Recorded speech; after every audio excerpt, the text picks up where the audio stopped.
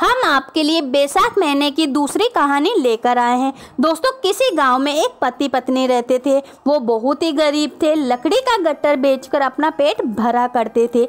बैसाख का महीना आया। सब लोग बैसाख स्नान करने लगे तो उसकी औरत ने भी बैसाख नहाना शुरू कर दिया। पति रोज गट्ठर लाता। पत्नी उनमें से एक लकड़ी निकाल लेती थी। बैसाख ना कर आती। आंवला, पीपड़ आदि सब कुछ सींचती थी। पूजा पाठ करती थी। ऐसा करते एक महीना बीत गया।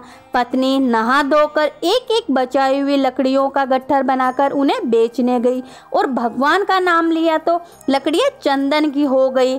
वह राजमहल से होकर गुजरी तो राजा को चंदन की खुशबू आ गई।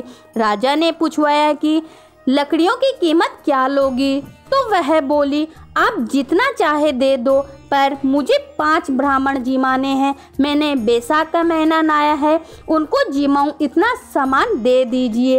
राजा ने नौकरों के साथ पाँच ब्राह्मण जीमाने जितना सामान उसके घर भेज दिया।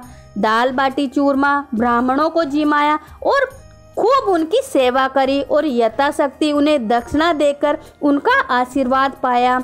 पति गट्ठर बिखा नहीं तो उसको आने में देरी हो गई। इधर ब्राह्मणों और भगवान के आशीर्वाद से उसकी झोपड़ी महल में बदल गई। रसोई में 36 प्रकार के पकवान हो गए।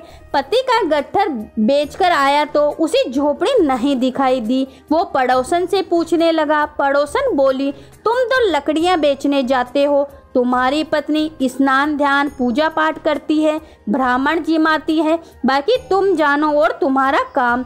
इतने में उसकी पत्नी आ गई। पति से बोली, ये ही अपना घर है। पति को गुस्सा आया और बोला, तूने चोरी की या डाका डाला? जो अचानक इतना सारा धन आ गया, तब वह बोली, मैंने बैसाख स्नान किया है, बड़ पीपल सींचा है, इसलिए उसका फल मुझे भगवान ने दिया है। ब्राह्मण जिमाने के लिए रोज आपकी लकड़ियों के गट्टर में से एक लकड़ी निकाल लेती थी।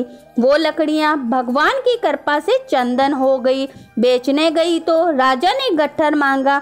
मैंने राजा से सूखा सामान मांग लिया, जिससे मैंने ब्राह्मण जिमाए और उन्हें दक्षिणा दी। ब्राह्मणों ने आशीर्वाद दिया, उसका फल भगवान ने हमें दिया। तब पति को तसल्ली आ गई। दोनों पति पत्नी ने साथ भोजन किया, महलों में वास किया।